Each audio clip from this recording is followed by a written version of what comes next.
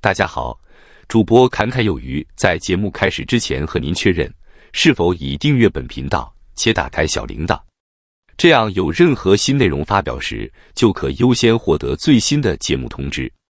辉达今年的经历是大多数公司的梦想，由于对人工智慧 AI 技术先见之明的投资。该公司的收入和股价飙升，这些投资在生成式 AI 浪潮的支援下获得了丰厚的回报。这还不是全部，他多次与苹果互换位置，成为全球市值最大的上市公司，突破三兆美元大关。执行长黄仁勋已成为西谷最受欢迎的高管之一，会见的对象从科技名人到世界领导人不等。另外，还有更多的事情即将发生。该公司正在扩大生产用于 AI 应用的高效能 Blackwell 晶片，预计仅第四季就将出货价值数十亿美元的硬体，预计全年出货量将远超预期。Futurum Group 执行长纽曼 Daniel Newman 表示，辉达确实拥有 AI 运算时代的硬体和软体，这一切都在伺服器机架内部和外部进行连接。然后，该软体深受开发者社群欢迎，但这并不代表没有竞争。AMD 等公司正努力挖走辉达的客户，并瓜分其估计百分之八十至百分之九十的市占率。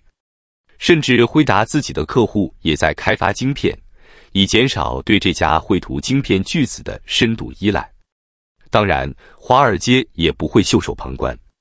博通 （Broadcom）。与 Google 等公司合作设计 AI 晶片，近年来已上涨百分之一百一十三。在执行长陈福阳表示，AI 可能在二零二七年带来六百亿至九百亿美元的商机后，股价就立即飙升百分之四十四。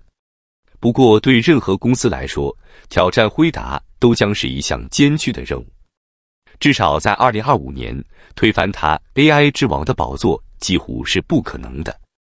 辉达凭借对 AI 软体的超前部署，将其绘图晶片转化为高效能处理器，从而在 AI 市场获得先发优势。由于其硬体以及允许开发人员为其晶片构建应用的 CUDA 软体的不断进步，它成功的保持了该领域的领先地位。正因如此，所有的超大规模企业、大型云端运算供应商，包括微软。Alphabet 旗下的 Google、亚马逊、Meta 等公司持续投入大量资金，尽可能采购最多的辉达晶片。辉达最近一季总收入为三百五十一亿美元，其中占百分之八十七的三百零八亿美元来自其资料中心业务。预计辉达将继续在二零二五年为大部分 AI 产业提供动力。该公司的 Blackwell 晶片是。AI 应用所需的热门 Hopper 系列处理器的后期产品现已投入生产，其客户如亚马逊已在其资料中心添加新的冷却功能，以处理处理器产生的巨大热量。虽然辉达将保留 AI 王冠的控制权，但不乏寻求夺取王位的挑战者。辉达本身越来越多客户也正开发和推广自有 AI 晶片。Google 拥有博通的张量处理单元晶片 TPU，亚马逊拥有 Trainium 两处理器，微软则拥有 Maya 一百加速器。AMD 和英特尔是晶片制造商中的顶级竞争者，并且都在市场上有产品。AMD 的 MI 三百 X 系列晶片对应辉达的 H 一百 Hopper 晶片，而英特尔则拥有高迪三处理器。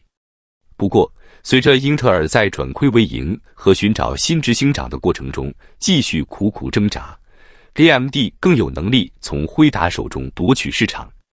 但即便是 AMD 也很难打破辉达的领先地位。半导体研究机构 SemiAnalysis 在进行了五个月的调查后发现，AMD 最新的 AI 晶片 MI 三百 X 因为存在重大软体缺陷，导致效能不如预期。难以撼动辉达的市场主导地位。SemiAnalysis 在研究报告中指出，虽然 MI 三百 X 规格看来令人印象深刻，拥有一百九十二 G HBM 三记忆体，可以提供一千三百零七 teraflops 的 FP 十六精度算力，而辉达 H 一百的算力只有九百八十九 teraflops，只配备了八十 G HBM 记忆体；H 二百也只配备了一百四十一 G HBM 记忆体。相比之下，AMD MI 三百 X 硬体配置更高，定价也更便宜，这也意味着 MI 三百 X 更具价效比。但是，SemiAnalysis 认为，AMD 这些优势却几乎发挥不了多少作用，因为 AMD MI 三百 X 配套的软体存在缺陷，若大量错误不能排除，会让训练 AI 模型变成几乎不可能的任务。相比之下，辉达却持续推出全新功能、工具库，并升级效能，持续保持领先。SemiAnalysis 指出。其研究团队执行了大量测试，当中包括 GAM 单节点训练 （Single Node Training） 等，发现 AMD MI 三百 X 存在软体缺陷。其研究团队必须跟 AMD 工程师一同修正无数软体缺陷，才能达到堪用的标杆测试结果。SemiAnalysis 称，AMD 产品开箱后非常难以操作，需要相当大的耐心及努力。才能达到可用的状态。相比之下，辉达的 AI 解决方案开箱就能顺畅运作。SemiAnalysis 还透露，AMD 最大云端客户 TensorWave 必须免费提供基于这些 GPU 实力的使用时间，以便于给 AMD 团队来解决软体问题。这实在疯狂，毕竟 TensorWave 已经支付了这些 GPU 的费用。SemiAnalysis 首席分析师 Dylan Patel 还通过社交平台 X 指出，他跟 AMD 执行长苏姿峰 Lisa Su 开了一点五小时的会议，逐一反馈了相关问题。他建议苏姿峰重金投入软体开发与测试，尤其应配置数千颗 MI 三百 X 晶片来做自动化测试，跟进辉达的做法。此外，他还建议苏姿峰。简化复杂的环境变数，实施更好的预设设定。另外，特别强调表示，请让产品开箱便可用。苏姿峰则回应称，感谢 Patel 具有建设性的对话，并坦诚 AMD 软体方面的不足之处。非常感谢大家的回馈。AMD 致力打造世界一流的开源软体，二零二五年有很多计划。祝大家佳节愉快！之外，他还表示。Patel 的反馈是个礼物，即便他很严苛。AMD 已大量投入客户和工作量优化作业，但为支援广泛的生态系统，尚有许多努力空间。那么本期内容到这里就结束了，感谢你的观看，期盼能与你产生共鸣。侃侃而谈，阔论有余。